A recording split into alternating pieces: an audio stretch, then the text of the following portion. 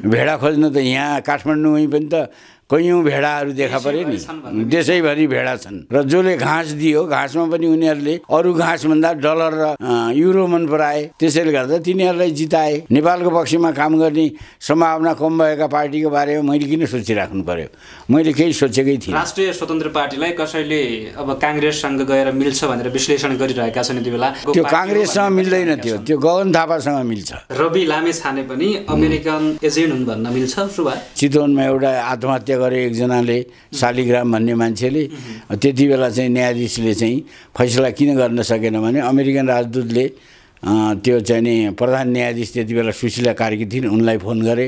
Sushila कार्कीले direct जिल्ला न्यायाधीशले order गरेर त्यो केस फिर्ता गर्न लगायो भन्ने मैले सुनेको थिएँ त्यति बेला। दर्शक ब्रेन नमस्कार। तपाईँ नजिकको साथी हेर्दै हुनुहुन्छ। म जनक साउद। देशमा यति बेला लगभग निर्वाचन सकिनै लागेको छ। सबैजसो निर्वाचन क्षेत्रको मत परिणाम आउने क्रम जारी रहेको छ र दलहरूले अपेक्षाकृत रूपमा मत परिणाम हात पार्न सकेका छैनन्। केही दलहरू भने अनपेक्षित रूपमा उदाएका छन्। अब सरकार कसको बन्ने सरकारको नेतृत्व कसले गर्ने सरकार बनाउन समीकरण कसरी बनाउने लगायतका विभिन्न विषयहरूमा यति बेला चर्चा भइरहेको छ। यो विषयले सबैको ध्यान केन्द्रित गरेको छ। यिनै विविध विषयहरूमा कुराकानी गर्नको लागि यति बेला हामीसँग वरिष्ठ पत्रकार एवं राजनैतिक विश्लेषक प्रेम कैदी हुनुहुन्छ। सर स्वागत छ यहाँलाई धन्यवाद। अब निर्वाचन लगभग सकियो होइन। दलहरूले अपेक्षाकृत रूपमा नतिजा हात पार्न सकेनन्। केही दल भने अनपेक्षित रूपमा उदाए। अब जनताले कसरी हेर्ने यो जुन परिणाम आयो नतिजा आयो निर्वाचनको? यो अन्तर्राष्ट्रिय महाशक्तिहरूको भूमिका चाहिँ बढेर गयो। नेपाललाई अफगानिस्तान बनाउने खतरा गम्भीर रूपमा बढेर गयो। र नेपालीहरूका दुर्दशा सुरु भए र यो एमसिसी आयो भने के हुन्छ के हुन्छ भन्थे अहिले एमसिसी नेपालले धेरै ठुलो भूमिका खेलेर धेरै ठाउँमा पैसा बाँडेर धेरै चाहिँ नि तपाईँको नपत्याएका मान्छेलाई पनि चाहिँ त्यो चुनावमा जिताइदियो र धेरै धेरै दिग्गजहरूलाई पनि लडाइदियो उनीहरूले चाहिँ अमेरिकनहरूले चाहिँ मोर अमेरिकन मोर उनीहरूको लागि बढी जो बढी सुविधाजनक छ त्यसलाई चाहिँ उनीहरूले अगाडि ल्याए।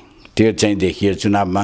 यो निर्वाचन त एक किसिमले अब जनताहरूको भाग्य रेखा गर्ने कलमको रूपमा पनि हेरिन्छ होइन? तर जुन मत परिणाम आयो यो निर्वाचनबाट यो बाह्य शक्तिहरूकै कारणले गर्दाखेरि यस्तो आएको भन्न सकिन्छ? त्यो सकिँदैन त्यो वास्तवमा के हो भने संसदीय निर्वाचन भनेको कहिले पनि भाग्य कुपर्ने निर्वाचन होइन। संसदीय निर्वाचनको बारेमा महान नेता माओ सेतुङले के भन्नुभएको छ भने त्यो खसीका टाउका देखाएर कुकुरको मासु बेच्ने व्यवस्था भन्नुभएको छ। यो संसदीय व्यवस्था भनेको कुनै कहीँ कुनै पनि देशका कुनै पनि देशमा जनताको लागि काम गर्दैन। जस्तो भारतमै हेऱ्यो भने हाम्रो मित्र राष्ट्र नजिकको लामो समय संसदीय व्यवस्थाको प्र्याक्टिस गर्दाखेरि त्यहाँ तेत्तिस करोड मान्छेहरू भोकै सुत्छन् र प्राय एक छाक मात्रै खान सक्छन्। त्यस्तो भारतमा त्यस्तो छ। अमेरिकामा पनि तपाईँको गरिबहरू अथाह छन्। जापान जस्तो देशमा चाहिँ तपाईँको सडकमा माग्नेहरू हुन्छन् गरिबहरू हुन्छन्। त्यहाँ तिनीहरूको व्यवस्था गरेका छैन। जबकि समाजवादी व्यवस्थामा रुसमा चिनमा कोही पनि गरिब र माग्ने अवस्थामा कोही हुँदैन। सबैलाई राज्यले हेर्छ। त्यस्तो हुन्छ। त्यसैले गर्दा यो संसदीय व्यवस्थामा जनताको सपना पुरा गर्ने काम चाहिँ राजनीतिले गर्दैन। राजनीति टाठाबाठा राजनीतिज्ञहरूले लटर पटर पारेर चुनाव जित्ने र आफू र आफ्ना मालिकको स्वार्थ पुरा गर्ने काम गर्छन्। त्यसैले गर्दाखेरि संसदीय व्यवस्था भनेको बेकारको व्यवस्था हो। यो व्यवस्थाबाट कसैले केही आशा गर्न सक्दैन।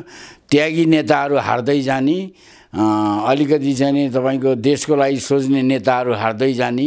तपाईँले देख्नुभयो तपाईँकै सुदूरपश्चिमका भीमरावललाई तलबाट चाहिँ तपाईँको जनताले रोजेर पठाएको भीमरावलाई यहाँ केपिओले उसलाई चाहिँ उसको टिकटै खोजिदियो र चाहिँ तपाईँको जो जो पपुलर नेताहरू छन् धेरैजसो चाहिँ जनताले चाहना राख्ने नेताहरू सब हारेका छन्। र जनताले थाहै नपाएका चिन्दै नचिनेका नेताहरूलाई नेपथ्यमा रहस्यमय तरिकाले चाहिँ तपाईँको भोट पाएको देखिन्छ। त्यसैले यो धेरैजसो यो चुनावमा चाहिँ तपाईँको के छ भन्दाखेरि जसले चाहिँ नि यो एउटा अन्तर्राष्ट्रिय महाशक्तिको गुलामी गरे तिनीहरू अगाडि आएका छन्। जो महाशक्तिको गुलामी गर्दैनन् र अलिकति पनि फरक धारमा सोच्ने मान्छेहरू जस्तो अब झलनाथजी जस्ता मान्छेले हारेका छन्। र तपाईँको चाहिँ झलनाथ प्रधानमन्त्री हुँदाखेरि इन्डियनहरूले उसलाई भेट्दै भेटेनन् झलनाथलाई त्यस्तो भएको थियो। र नेपालको नत्र प्रधानमन्त्री चाहिँ नि कसलाई बनाउने भन्ने कुरो पहिले भेट्ने इन्डिया गयो भने सबभन्दा पहिले उसलाई चाहिँ स्वागत गर्ने गर्थे इन्डियनहरूले। झलनाथजीलाई गरेनन्। उनीहरूले गरेनन् उनीहरूले अनुमति नै दिएनन्। र झलनाथजी चाहिँ नि छ सात महिना कति काम गर्नुभयो उहाँलाई चाहिँ नि उनीहरूले मन पराएनन्। अब त्यस्तै गरेर मरिजमानको पालामा पनि उनीहरूको राम्रो थिएन र इन्डियनहरूले चाहिँ जहिले पनि चाहिँ नि आफ्नो अनुकूलको प्रधानमन्त्री हुनुपर्छ भन्ने उनीहरू चाहन्छन्। तर अहिले त इन्डियाको पनि केही लागेन। इन्डिया चाइना चाहिँ नि सफाया भए उनीहरूको नजिक जान खोज्ने उनीहरूको पक्षमा केही कुरा गर्नेहरू सबै चाहिँ एक त निर्वाचन टिकटै पाएनन् त्यस्ताले त्यस्ता मान्छेहरू अगाडि आउँदै आएनन्। अहिले त अमेरिकाले चाहिँ डाइरेक्ट नेपालमा चाहिँ तपाईँको युक्रेन र चाहिँ ताइवानमा अमेरिका फेल भएपछि उसले चाहिँ सोझै नेपालमै हमला नेपाललाई नै आफ्नो बेस बनाउने किसिमको तयारी चाहिँ नि अमेरिकाले गरिरहेको छ भन्ने यो निर्वाचनले साबित गरेको छ। जस्तो परम्परागत राजनैतिक दलहरूप्रति एक किसिमको वित्तीयता छँदै थियो नागरिकहरूको होइन? र पछिल्लो समयमा अब जसरी नयाँ दल भनौँ न राष्ट्रिय स्वतन्त्र पार्टी रवि लामी छाने नेतृत्व उहाँको पार्टीले यति मत ल्याउला यति सिटहरू जित्ला यति पपुलर मत पाउला भन्ने त अपेक्षा गरिएको थिएन। तर अनपेक्षित रूपमा उहाँको पार्टी उदायो राष्ट्रिय दल पनि बन्न सफल भयो। अब नागरिकहरूले साँच्चीकै परिवर्तन खोजिरहेका छन् भन्ने पनि बुझ्न सकिन्छ यहाँबाट। होइन त्यो कुरा बुझ्न सकिँदैन र त्यो तपाईँले चाहिँ अनपेक्षित भन्ने पनि होइन। उसलाई अगाडिदेखि नै एक प्रकारले चाहिँ नि उसको चलखेलहरू हेरिरहेका मान्छेले उसको कहाँ कता सम्पर्क छ भन्ने जानिरहेका मान्छेले यो कुरा चाहिँ तपाईँको तपाईँको कुरालाई पत्याउँदैनन्। नागरिकले यहाँ केही निर्णय गर्छन् भन्ने कुरा नागरिकको अपेक्षा भन्ने कुरो त्यो छँदा पनि छैन। र यो दलहरूले गरेको बदमासी भन्ने कुरो जुन छ नि दलहरूले एमसिसी पास गरे होइन? त्यति बेला सारा जनता उठ्नु पर्थ्यो खोइ नेपाली जनता उठेको? अहिले ती एमसिसी पास गर्नेहरूलाई तपाईँको चाहिँ नि ती रोजी रोजी तिनीहरूलाई जनताले चुने भनेपछि त जनता नै यो देश चाहिँ नि गणेश मानजीले भन्नुभएको जस्तो भेडा रहेछन् भन्ने कुरो चाहिँ मैले त त्यसमा विश्वास गरिदिन्थेन। म विरोध गर्थेँ गणेश मानजीको। वास्तवमा उहाँ सत्य हुनु रहेछ भन्ने कुरो अहिले प्रमाणित भयो। र त्यो भेडा चाहिँ तपाईँ किन्न म उहाँ चाहिँ डडेलधुरा जाँदैछु भनेर एकजनाले कार्टुन एउटा चाहिँ त्यो प्यारोडी राखेको थियो अनलाइनमा। तर उसले त त्यहाँ किन जानु पर्थ्यो र। भेडा खोज्न त यहाँ काठमाडौँमै पनि त कैयौँ भेडाहरू देखा पऱ्यो नि देशैभरि भेडा छन्। र चाहिँ तपाईँको चाहिँ नि महाका भ्रष्ट पतित अत्यन्तै राष्ट्रघाती देशघाती जसले चाहिँ एमसिसीको लागि चाहिँ नचाहिने नचाहिने कामहरू गरे र राष्ट्रलाई धोका दिए तिनीहरूलाई जिताउनेहरूलाई त भेडा खोज्न चाहिँ तपाईँको न रौतहट जानुपर्छ न गोर्खा जानुपर्छ न उहाँ जानुपर्छ। के अरे झापा र चाहिँ तपाईँको डडेलधुरा यिनीहरूको विकल्पमा के गर्नु पर्थ्यो जनताहरूले? स्वतन्त्रहरूलाई जिताउनु पर्थ्यो या नयाँ अनुहार अब राजनैतिक दलबाट आएका पनि जुन नयाँ अनुहारहरू छन् उनीहरूलाई जिताउनु पर्थ्यो भन्ने हो। होइन त्यस्तो होइन कि चाहिँ तपाईँको जस्तो मैले चाहिँ भनेको के हो भन्दाखेरि नि अब देश र जनताको लागि लड्ने मान्छे हुन्छन् नि। जस्तो दक्षिण अफ्रिकामा संसदीय व्यवस्थामा पनि नेल्सन मण्डेलालाई जनताले राष्ट्रपति बनाए नि। यहाँको नेल्सन मण्डेला भने को हो? यहाँको नेल्सन मण्डेला भने मोहनचन्द अधिकारी हो। खोइ कहाँ हरायो? यहाँको अर्को नेल्सन मण्डेला भने को हो? अब चाहिँ तपाईँको चाहिँ चित्रबहादुर केसी सायद उनले हारे जस्तो लाग्छ मलाई। अब चाहिँ तपाईँको अर्को नेल्सन मण्डेला भने को मजदुर किसान पार्टीको नेता नारायणमान बिजुक सायद उनी संसदमा उठ्दै उठेनन्। र यस्तै गरेर चाहिँ तपाईँको ठाउँ ठाउँमा नेल्सन मण्डेलाहरू छन्। तपाईँको चाहिँ नि झापामा चाहिँ नि त्यो रामचन्द्र बानिया भन्ने धनकुटामा चाहिँ तपाईँको उहाँ हुनुहुन्थ्यो के अरे त्यो बराल सर हुनुहुन्थ्यो ठाकुर बराल। यहाँ चाहिँ नि तपाईँको रौतहटमा पनि त प्रोफेसर अवधेश कुमार ठाकुर चाहिँ उठेका थिए नि। हो। संसदीय व्यवस्थाको नेतृत्व चाहिँ किन गर्न चाहँदैनन् उसो भए ती व्यक्तिहरू उठेका व्यक्तिहरूलाई जनताले उनलाई हराए। जनताले किन हरायो भने जनता जनता भनेका त्यो जुन मैले भने गणेश मान्जीका भेडाले घाँस हरियो चरेर अनि उनीहरूलाई हराए। र जसले घाँस दियो घाँसमा पनि उनीहरूले अरू घाँसभन्दा डलर र युरो मन पराए। त्यसैले गर्दा तिनीहरूलाई जिताए। त्यसैले गर्दा यो चुनावलाई चाहिँ तपाईँको जनताको इच्छा नेपालको राष्ट्रको चाहना नेपाल राष्ट्रको हितमा यो चुनाव होइन। जस्तो रवि लामी छानेको पार्टी जसरी उदायो त्यसलाई अनपेक्षित भन्न मिल्दैन भन्नुभयो होइन? तपाईँले चाहिँ के सोच्नु भएको थियो निर्वाचनको पूर्व सन्ध्यामा त्यो पार्टीको विषयमा? मैले केही सोचेकै थिइनँ र सोच्नुपर्ने आवश्यकता के छ भने ऊ नेपालको पक्षमा केही काम गर्ने भए पो त्यो त्यसको बारेमा सोच्नु। नेपालको पक्षमा काम गर्ने सम्भावना कम भएका पार्टीको बारेमा मैले किन सोचिराख्नु पर्यो? मैले केही सोचेकै थिइनँ। राष्ट्रिय स्वतन्त्र पार्टीलाई कसैले अब काङ्ग्रेससँग गएर मिल्छ भनेर विश्लेषण गरिरहेका छन् यति बेला कसैले कम्युनिस्ट धारको त्यो काङ्ग्रेससँग मिल्दैन भनिरहेका त्यो। त्यो गगन थापासँग मिल्छ। र त्यसको व्यक्तिसँग जो एनजिओबाट सञ्चालितहरू छन् तिनीहरूसँग मिल्छ हो। गगन थापा र रवि लामी छानेको जुन भित्री साँडगाँठ छ भन्ने पनि अहिले कुराहरू बाहिर आएका छन्। त्यो प्रोफेसर- कतिको सत्यता छ जस्तो लाग्छ? तपाईँ त्यो पहिलेका रक्षा मन्त्री थिए नि प्रोफेसर के अरे त्यो उहाँ काठमाडौँबाट उठेका। उनले त डाइरेक्ट नेपाली काङ्ग्रेसको अफिसमै गएर भीमसेन दासले त्यो प्रमाणै पेस गरेका छन्। मैले के भन्नुपर्छ?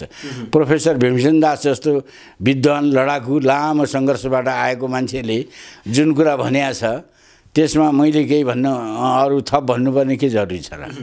रवि लामे छाने पनि अमेरिकन एजेन्ट हुन् भन्न मिल्छ सुभा होइन त्यसरी त तपाईँको मसँग केही प्रमाण पनि छैन र फेरि मान्छेहरूले उसलाई के देखेर आश गरेर उसलाई जिताएका छन् ऊ भर्खर जितेर आएको छ ऊ अमेरिकन एजेन्ट हो यस्तो हो उस्तो हो भन्न चाहिँ। त्यो सिआइएको फाइल जानेको हुनु पऱ्यो त्यो भन्न सक्ने त त्यो के सारांश भन्ने छ नि जेलमा। त्यो चाहिँ नि उसको चाहिँ नि तपाईँ एउटा पत्रकार छ नि त्यो सारा सिआइएका फाइलहरू उद्घाटन गर्ने। भोलि कुनै दिन त्यो उनीहरूले उद्घाटन गऱ्यो भने त थाहा होला। तर मैले त कसरी भन्ने मैले सिआइएको फाइलको गोप्य कुराहरू अमेरिकन एम्बेसीको कुराहरू कसरी थाहा पाउने? हुन त अब एक थरी साथीहरूले भनिरहेका छन् कि चितवनमा एउटा आत्महत्या गरे एकजनाले शालिग्राम भन्ने मान्छेले। त्यति बेला चाहिँ न्यायाधीशले चाहिँ फैसला किन गर्न सकेन भने अमेरिकन राजदूतले त्यो चाहिँ नि प्रधान न्यायाधीश त्यति बेला सुशीला कार्की थिइन् उनलाई फोन गरे।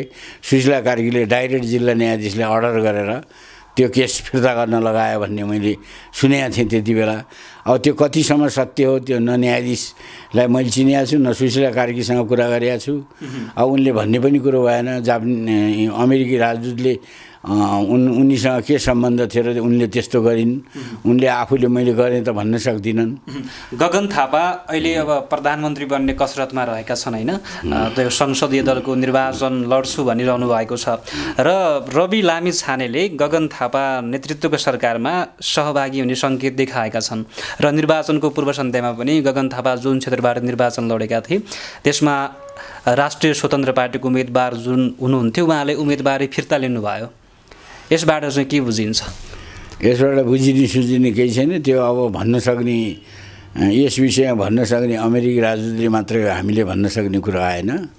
अमेरिकी राजदूतले कहाँ कसलाई उचाल्छन् कसलाई थचार्छन् शेरबहादुरलाई कसरी हराउँछन् अथवा यो के अरे केपी ओलीलाई कसरी पाखा लगाउँछन्। अब अहिले त प्रधानमन्त्री बन्ने सम्भावना भनेको दुई तिनजनाको हो। ककसको छ भन्नुहोस्? शेरबहादुर केपी ओली र प्रचण्डको हो। केपी ओली अथवा शेरबहादुरले समर्थन गर्यो भने प्रचण्डको होइन भने शेरबहादुर आफै अथवा केपी ओली आफै हो भन्ने। र त्यसबाहेक अरू त कसैको छैन। तर त्यो नेपालमा त त्यो भन्न सकिँदैन। उनीहरूले चाह्यो भने चाहिँ त्यो सडकबाट एउटा जोक्करलाई ल्याएर युक्रेनको युक्रेनको चाहिँ तपाईँको राष्ट्रपति बनाइदिए। नेपाली काङ्ग्रेसभित्र पनि अन्य नेताहरू पनि आकाङ्क्षा देखिएका छन्। अरूको सपना पुरा हुँदैन आकाङ्क्षीको त कुरा एउटा हो। रामचन्द्रलाई त गर्नु नगर्नु बेइज्जत गरेर पहिलेदेखि नै कैयौँचोटि हराएर अन्तर्राष्ट्रिय शक्तिहरूले उनलाई नपत्याएको हुनाले त्यहाँभित्र त उन उनको त के सपना थियो र उनी भन्ने मात्रै हुन्। र चाहिँ तपाईँको यहाँ कस्तो हुन्छ भने अलिकति बढ्ता महाशक्तिहरूसँग न्यु खोज्यो भने जस्तो वामदेव गौतम चाहिँ खुकुरी लिएर माथि उहाँ गएको थियो नि डाँडातिर। तपाईँको चाहिँ नि लिम्पिया धुरा लिपुले कालापानीको लागि त्यो लड्या थियो पार्टीभित्र। पार्टी अलग्गै आएको थियो। नेपाली जनताले यदि राष्ट्र देशभक्त जनता हुन् भने त त्यो वामदेव गौतमलाई अगाडि ल्याउनु पर्थ्यो। तर महाकाली बेच्ने केपी ओलीलाई अगाडि ल्याए नेपाली जनताले। नेपाली जनता नभनौँ अब त्यो भेडा भनौँ त्यो म- गणेश मान्जीको शब्द सापटी लिन्छु। भेडाले त्यसो गरे अहिले पनि भेडाकै काम भइरहेको छ। उसो भए गगन थापा रवि लामे छाने लगायत जुन अहिलेका युवा नेताहरू भनिएका छन् तिनीहरूको यो ने देशको नेतृत्व गर्न पाउने अवसर तिनीहरूले अहिले तत्काल पाउने अवस्था छैन। केपी ओली अमेरिकाले चाह्यो भने बाहेक किन नपाउने मैले भने त त्यो जेलिनस्कीलाई ल्याएको जस्तो उनीहरूलाई चाहिँ नि पम्प गरेर उनीहरू क्रेनले तानेर शेरबहादुरहरू कसले ल्याएको हो? त प्रचण्ड कसले ल्याएको हँ नोएडाको होटेलमा राखेर जनयुद्ध कसले लडिदिएको हो? यहाँ जन आन्दोलन कसले गरिदिएको हो? सबै विदेशीले गरे हुन् बाह्र बुझे दिल्ली सम्झौताले गरे हो। त्यसैले गर्दाखेरि यहाँ चाहिँ नि अब उनीहरूलाई मन परेन र शेरबहादुरहरू केपी ओलीहरू यिनी ढाडिसके हाम्रो भने मान्दैनन्। यिनीहरू अल्छी भइसक्यो हाम्रो पनि विरोध गर्छन् भनेर। यिनीहरूबाट काम त लिने। तर यिनले बढी पैसा मागे होलान् सायद अब सस्तोमा अर्को पाएपछि जसले पनि त्यता हेर्छ नि। अब जस्तो केपी ओली र प्रचण्ड बिचको किसिमको जुन द्वन्द्व थियो संसद विघटन भइसके पछाडि पार्टी पनि फुट्यो होइन विभिन्न घटनाहरू भए। र निर्वाचन अ, को नतिजा आइसके पछाडि केपी ओलीले फोन गर्नुभयो प्रचण्डलाई। र अब चाहिँ मिलेर जाउँ विगतलाई भने सोल्टी होटेलमा चाहिँ रक्सी खाए नि सँगै बसेर। दिनदिनी उनीहरूका एक थरी नेता त सेकेन्ड ग्रेडका नेता दिनदिनी भेट गरिरहेछन् नि। त्यो चाहिँ तपाईँको चाहिँ नि त्यो के भने काङ्ग्रेसलाई सत्ताबाट हटाउनका लागि केपी ओलीको लागि त प्रतिद्वन्दी भने काङ्ग्रेस देखियो। त्यसलाई चाहिँ माइनस गर्नका लागि केपी ओलीलाई त प्रधानमन्त्री हो भनेर उनले भनिसकेको कुरा छ। भेटघाट भेटघाट गरिसके। त्यो अखबारमै आइसक्यो नि। त्यसैले गर्दा त्यो चाहिँ प्रश्न एकातिर छ। तर अब चाहिँ नि केपी ओलीको विश्वास प्रचण्डले गर्ने नगर्ने अलि स्थिति गाह्रो छ। शेरबहादुर बढी भरपर्दो छन् यस्तो मामलामा। यो सहकार्यको मामलामा शेरबहादुरले अघिल्लोचोटि प्रचण्डले पनि समयमा शेरबहादुरलाई ह्यान्डओभर गरे हो। यिनीहरूको बिचमा चाहिँ त्यस्तो हुँदैन। के तर केपी ओलीको भरोसा छैन। प्रचण्ड गठबन्धनबाट बाहिरिन सक्छन् त अब। प्रचण्डमाथि त भयानक दबाब छ नि। आखिर चाहिँ काङ्ग्रेसीहरूले त स्वतन्त्र अरूलाई भोट दिए। गगन थापा जस्ताले भूमिका अर्कै खेले। आखिर चाहिँ तपाईँको चाहिँ नि माओवादीहरूले र समाजवादीहरूले खुरुखुरु काङ्ग्रेसलाई भोट हाले। उनीहरूले त काङ्ग्रेसीहरूले त गद्दारी गरे नि। त्यसैले गर्दाखेरि अब सकेसम्म चाहिँ झलनाथजीले त प्रष्टै भन्नुभयो। तिन हजार काङ्ग्रेसका भोट थिए जिल्लामा उनीहरूले मलाई भोट दिएनन् भनेर भनिसक्नु भएको छ नि एउटा टेलिभिजनमा। उम्, अन्तर्घात त भयो होइन विभिन्न ठाउँहरूमा भयो विभिन्न ठाउँहरूमा होइन देशभरि नै काङ्ग्रेसीहरूले अन्तर्घात गरे। यो कुरो काङ्ग्रेस भनेको अन्तर्घातीय तिनीहरूसँग चाहिँ तिनीहरूका मान्छेहरू भरोसा मन्द छैनन्। शेरबहादुर चाहिँ बरु त्यस्तो होइन। तर अरू अरू अन्य नेता अन्य नेता कार्यकर्ता चाहिँ सबै फटा हुन्। अब प्रचण्डले पनि प्रधानमन्त्री बन्ने आकाङ्क्षा व्यक्त गर्नुभएको छ होइन? अब चाहिँ प्रचण्डको त प्रचण्डले आकाङ्क्षा गरे होइन। प्रचण्ड दिल्ली गएर आफू पहिले बन्ने त्यसपछि भाउजूलाई बनाउने भनेर उनीहरूले पहिले इन्डियनहरू कहाँ गएर किनभने भारत गएको बेलामा। हो त्यो उनीहरूको सहमति भएको कुरा त मैले पहिले पनि बोलिसकेको छु। अब अहिले आरजु अप्पर हाउसमा आइन् भने त्यताबाट प्राइम मिनिस्टर हुने शेरबहादुर के अरे अहिले शेरबहादुर पछि हट्ने भन्ने होला। तर अब चाहिँ काङ्ग्रेसको संसदीय दलमै अमेरिकाले ज्या खान दिएर सारा सांसद किनिदियो भने अब अरू कोही पनि आउन सक्ने भयो शेरबहादुरको विरुद्ध। त्यस्तो प्रकारको परिस्थिति सिर्जना भयो। सरकार गठनका लागि सत्ता गठबन्धनको दलहरू जुन छन् तिनीहरूको समीकरण त नपुग्ने देखिएको छ। अब के हुनसक्छ राजनीति? होइन केही छैन। सबै चाहिँ विदेशीहरूको हातमा गए नि। अब महाशक्ति राष्ट्रहरूले जसलाई जता किनेर जताको ज कसलाई जहाँ पनि हालिदिन सक्ने भए। त्यस्तो प्रकारको राजनीति अस्थिर राजनीति सुरु भयो। अब दुई तिहाईको लगभग दुई तिहाई पुगेको केपी ओलीको सरकार त केपी ओलीले भत्ताभुङ्ग पारिहाल्यो। त्यसको परिणाम त देशले भोगिराखेका छ अन्तर्राष्ट्रिय शक्तिहरूले खेलिरहेका